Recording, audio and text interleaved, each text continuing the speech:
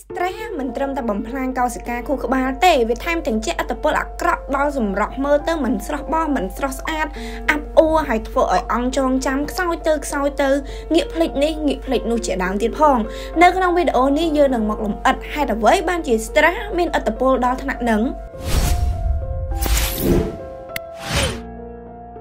Provida ទឹកស្ព្រីងធម្មជាតិ និយាយពាក្យថា stress បងប្អូនប្រហែលជាគិតថាសាមញ្ញណាណាណាក៏ធ្លាប់ជួបប៉ុន្តែបើសិនជាយើងមើលទៅក្នុងនៃភាសាពេទ្យភាសាវិទ្យាសាស្ត្រវិញ stress ហ្នឹងគឺជាតួអាក្រក់មែនតើហ្មងព្រោះថានៅក្នុងជីវិតយើងកាលណាតែមាន stress ច្រើនមិនហាសម្រស់សុខភាពហើយគូក្បាលគឺប៉ះពាល់ទាំងអស់តែម្ដងអញ្ចឹងមួយនៅក្នុងចំណោមបញ្ហាជាច្រើននៃគូក្បាលយើងប៉ះទង្គិច stress រយៈពេលយូរអាចប៉ះទង្គិចទៅដល់ខួរក្បាលនិងអង្គចងចាំនៅឯងមានន័យថាយើងនឹងភ្លេចច្រើនហើយ stress អាចធ្វើឲ្យខួរក្បាលយើងពិបាកនៅក្នុងការចងចាំរឿងលំអិតផ្សេងផ្សេងសូម្បីតាយើង stress តិចតួចហ្នឹងក៏វាធ្វើឲ្យយើងភ្លេចនេះភ្លេចនោះលឿនដែរឧទាហរណ៍ដូចជាភ្លេចសោភ្លេចកន្លែងដែលយើងទុកកបោភ្លេចរបស់ភ្លេចអីគឺមួយថ្ងៃមួយថ្ងៃគឺភ្លេចរហូតដល់តែរោរបស់ដែលភ្លេចហ្នឹងហើយវា គឺជាលទ្ធផលនៃការ stress រយៈពេលយូរដែលវាប៉ះពាល់ទៅដល់ខួរក្បាលហើយជាមួយគ្នានេះផងដែរគឺបានសិក្សារកឃើញថា stress រ៉ាំរ៉ៃវាមានផលអវិជ្ជមានយ៉ាងខ្លាំងមែនទែនទៅដល់ memory នៃខួរក្បាលមានថាអង្គចងចាំនៃខួរក្បាលនិងសមត្ថភាពនៅក្នុងការរំលឹកឡើងវិញនៅព័ត៌មានផ្សេងៗដែលខួរក្បាលយើងបានទទួលយកឧទាហរណ៍អ្នកទន្ទិញមេរៀនសិស្សសាលា ឬក៏អ្នករស់ស៊ីប៉ុន្តែគាត់មានឯកសារអីច្រើនអញ្ចឹងគាត់ប្រមាថចាំហើយគាត់ប្រមាថអង្គុយ review ថាគាត់ចាំអីគឺខ្លះឬក៏ការងារផ្សេងៗហ្នឹងគាត់ត្រូវយកឯកសារមកមើលទៅគាត់ចាំ Yes ហើយនៅក្នុងការសិក្សាមួយនៅក្នុងឆ្នាំ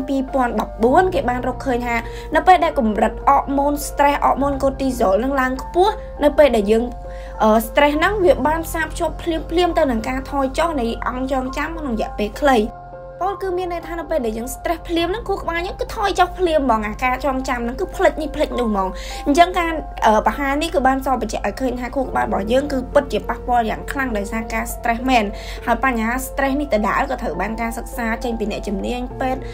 អ្នកជំនាញវិទ្យាសាស្ត្រជាច្រើនសូម្បីតែ Very Well Minds ដែលជាគេហទំព័រសុខភាពដ៏ល្បីមួយហ្នឹងក៏គេបានប្រាប់ដែរថាការ stress អាចបំផ្លាញកោសិកាខួរក្បាលយ៉ាងច្រើនរបៀបច្រើនសន្តានហើយវាប៉ះពាល់ដល់សុខភាពទូទៅតែម្ដងមិនថាសុខភាពរាងកាយសុខភាពផ្លូវចិត្តហើយនឹងខួរក្បាលព្រមទាំងសម្រស់ផងដែរអញ្ចឹងនិយាយនេះមិនមែននិយាយថាខាមិនឲ្យបងប្អូន stress ទេប៉ុន្តែយើងគួរតែចេះគ្រប់គ្រង stress យើងឲ្យបានល្អអញ្ចឹងនៅពេលដែលយើងដឹងថា stress ហើយឃើញអត់វាចេះអត្តពលយើងខ្លាំង